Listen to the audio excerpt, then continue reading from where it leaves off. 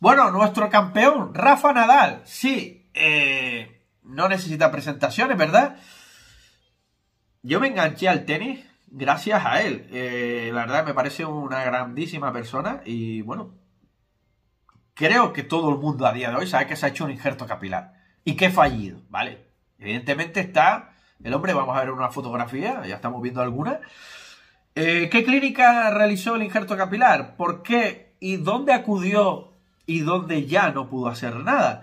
Creo que este vídeo no suelo hacer estos vídeos, pero puede ser interesante y bueno, hablaremos de otros deportistas si lo creen relevante, a lo mejor es el único vídeo que hago, ¿vale? Tampoco voy a prometer nada. Saben que yo estoy recomendando clínicas, lo dicho, pues clínicas que no tienen lista de espera, que son un poquito más baratas y que bueno, ya con el tema de las consultas sí, pero bueno, 3-4 meses, la que...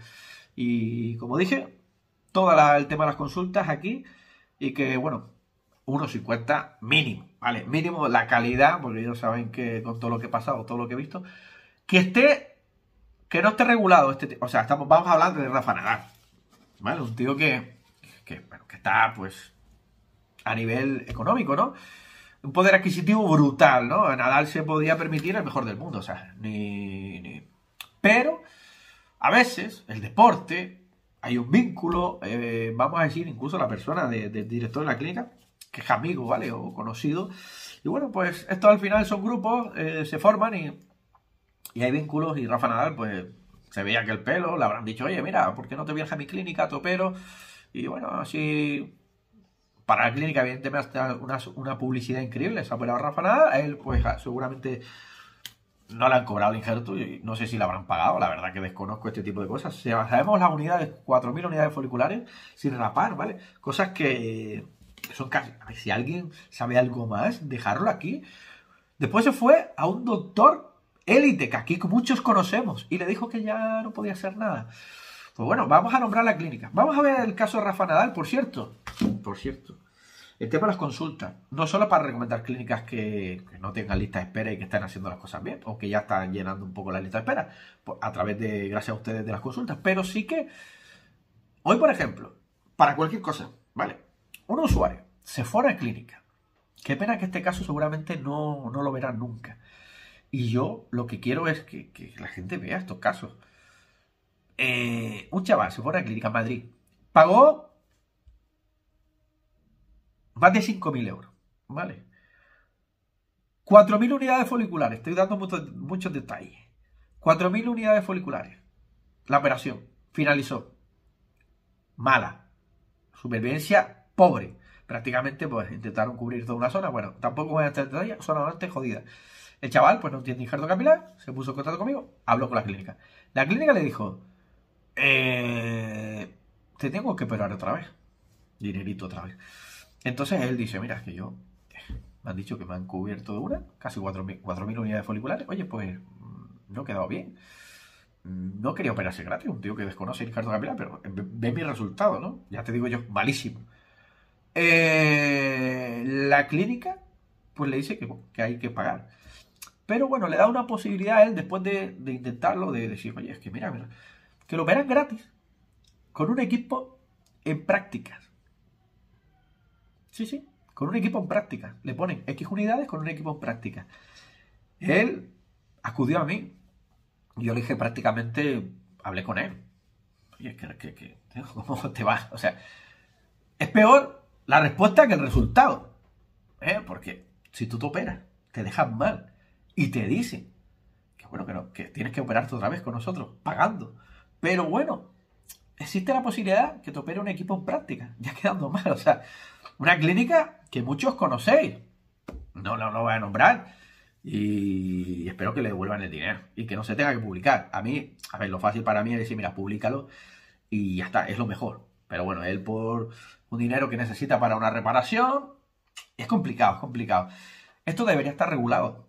Debería tener, o sea, esto está, mm, que yo tenga que estar en mi casa aquí, con esta cara. Eh, yo, reivindicando los derechos de las personas, me parece lamentable. Y que no haya penalización, no haya justicia en el tema del injerto capilar. ¿Vas a un dentista? Sí. Vas a cualquier sitio, o sea, la cirugía capilar hoy en día sale gratis. Cualquier persona no cualificada que no tenga a lo mejor ni el título te puede operar. Hoy en día está, es que, de verdad, eh, no sé hasta qué punto vamos a llegar, pero esto va a reventar por un lado, por otro. Yo, como digo, tendré mucho trabajo en el tema de publicar, publicar. Lamentable, lamentable. Y no es Turquía, que bueno, la legislación, no, no, en Madrid, una operación hace poco, en una clínica conocida. Bueno, eh, espero que lo solucione. Me encantaría publicar el caso, pero me encantaría. Sé que el caso duraría poco aquí. Mira, vamos a ver cómo eh, eh, este Rafa Nadal, ¿no? Estamos hablando de Rafa Nadal, lo siento Rafa Nadal. Si estás viendo el vídeo, sé que no lo verás nunca, pero bueno, te admiro muchísimo. lo siento mucho por lo que has pasado. Y no sé si tú lo sientes igual o no, pero bueno, estamos todos para eh, cómo, estaba Rafa Nadal, ¿no? Vemos aquí prácticamente después de su operación, ¿no? 4.000 unidades foliculares. Vale, no, a lo mejor son 4.000 y pico, 3.000 y pico, pero bueno, sin rapar. Eh, vemos Rafa Nadal como ha salido en televisión, aparte que hay unos facos increíbles, eh, sí que es verdad que... pero bueno, evidencia de que el trasplante capilar no ha ido bien, ¿no? No ha ido bien. No sé cómo lo estará pasando él, evidentemente. Yo, pues ahora mismo me pondría a su lugar. Sería lo de menos porque él tiene. Pero esto. Eh, esto es jodido. ¿Dónde se operó? En la clínica de Menorca. Una clínica. Clínica Menorca de Madrid. ¿Vale? Que al final es clínica de cirugía capilar, de estética, de todo este tipo de cosas. ¿Por qué llegó Rafa Nadal a esta clínica? Yo me imagino, el deportista, muchas amistades, mucho vínculo. Le habrán dicho, mira, yo tengo una clínica, algún amiguete, socio y tal, que ahora pondremos una foto y, del dueño de la clínica también. Y, bueno, del nombre, ¿no? Eh, Ángel, David, ni lo voy a nombrar por si acaso, que esta gente tiene mucho dinero. Pero bueno, el trasplante a la vista está.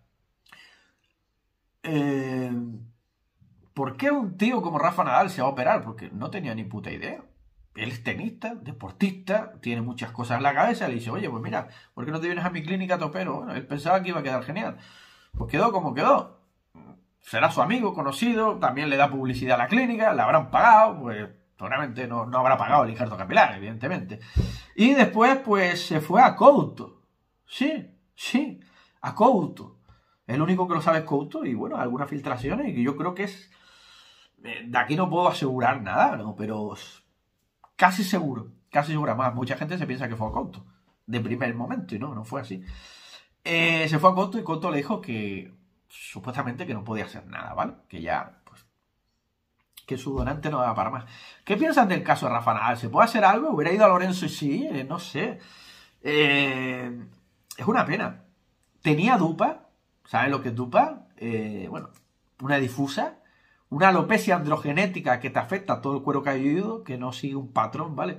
La alopecia androgenética, pues el 99% de nosotros la tenemos, ¿vale? Pero tenemos la zona segura, ¿vale? Vamos a decir así, pues no, no está afectada. Entonces, mm, lo, estabilizamos con medicación, todo este tipo de cosas que no te dicen los doctores, y se injerta. Pero cuando tienes una difusa, pues afecta tanto a la zona, o sea, es muy complicada. ¿Se recupera con medicación? Sí. Suelen ir mejor con medicación y suelen funcionar bien si no te hacen una escabechina, ¿vale?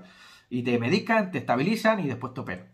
Antes, por, antes nadie operaba una dupa. ¿vale? Día sabemos que muchos doctores élites operan dupa y, son... Pues, ¿Qué, ¿Qué quiero decir con esto?